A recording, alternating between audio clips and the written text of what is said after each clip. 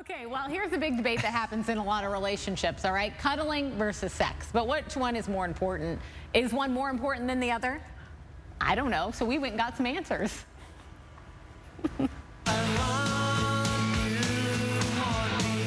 It's the age old debate. Do we want sex or cuddling? Both are big parts of relationships, but is one really better than the other? Yes, intimacy. yeah.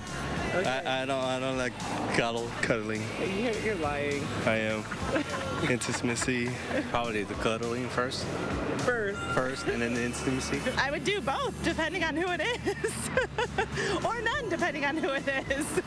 to find the answer, we spoke to Dr. Angela DeRosa, a sexual health expert.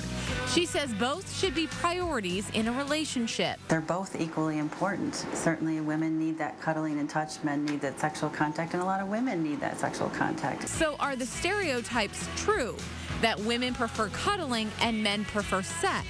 Well, sort of, but women use cuddling to lead to sex. Sex for men is stress relief, but women, in order to usually engage in sexual intercourse, need to have stress relief in order to engage in sex. And often that stress relief involves massage, cuddling, touching, kissing.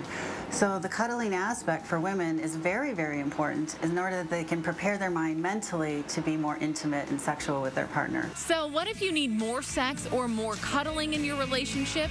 Just be open with your partner.